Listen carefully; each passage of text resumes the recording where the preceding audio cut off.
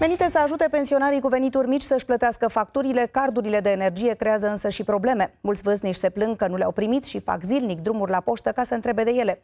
Până acum, cardurile au ajuns la 1,7 milioane de români dintr-un total de peste 2,5 milioane.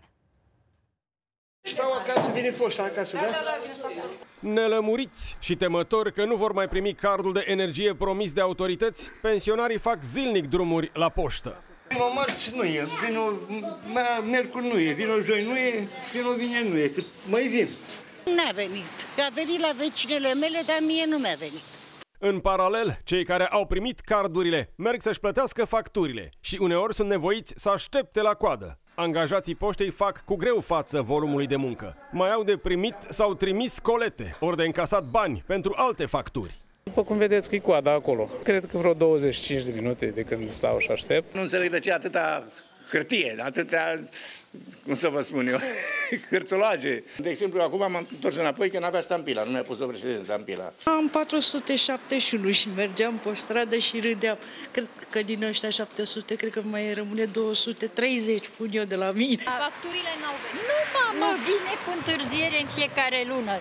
Până în acest moment au fost distribuite 1,7 milioane de carduri. Pentru restul, până la 2,5 milioane, încă nu se cunosc informații legate de veniturile înregistrate sau de numărul total de persoane din familie. Avem 550 uh, de mii de beneficiari care se află în situația de a locui împreună la aceeași adresă, fiindcă nu s-a întocmit nomenclatorul stradal. Până la data de 1 uh, martie, li se vor emite aceste Uh, carduri. În plus, mai sunt 300 de mii de persoane care locuiesc în familii unde veniturile membrilor depășesc plafonul de 2000 de lei.